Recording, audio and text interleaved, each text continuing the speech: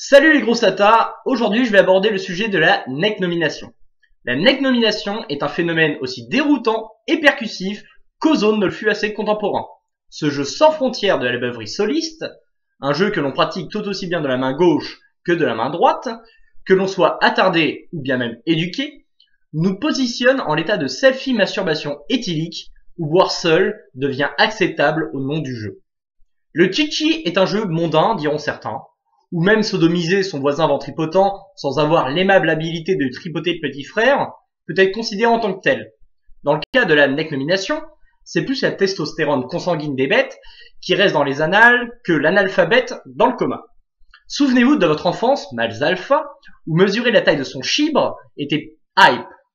Mais si, rappelez-vous juste de ces moments d'égarement où vous étiez guidé par la rage de vaincre vos concurrents à celui ou celle qui pissera le plus loin. Ici même, ce mal qu'est la neck nomination est à votre gosier ce que fut votre verge à votre esprit.